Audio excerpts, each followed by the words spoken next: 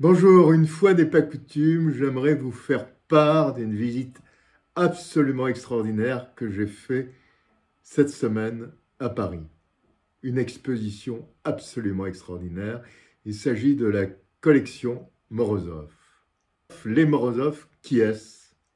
Ce sont deux Russes, deux Russes qui ont collectionné pendant des dizaines d'années des peintres des peintres européens et en particulier français. Mais pas seulement que des peintres d'ailleurs, mais des, sculpteurs également, des collectionneurs d'art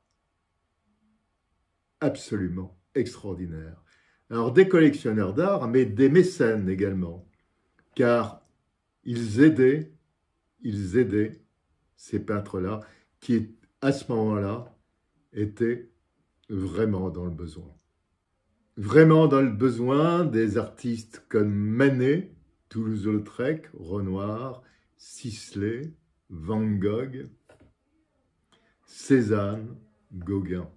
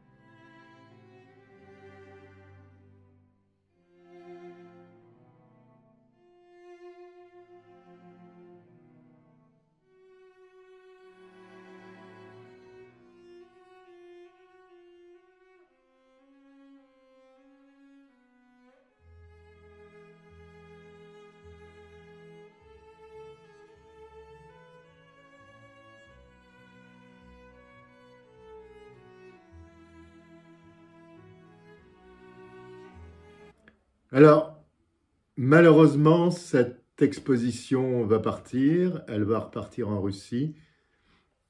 Nous ne la verrons jamais plus, à mon avis. C'est bien dommage. Elle va repartir, ou en tout cas, elle devrait repartir, car elle est insaisissable. Il y a une convention qui a été signée entre l'État russe et l'État français l'État français n'a absolument pas le droit de saisir cette collection. Bon, bah écoutez, j'espère que vous avez aimé ces toiles que j'ai pu photographier lors de, de cette visite. À bientôt. À bientôt sur ma chaîne. Au revoir.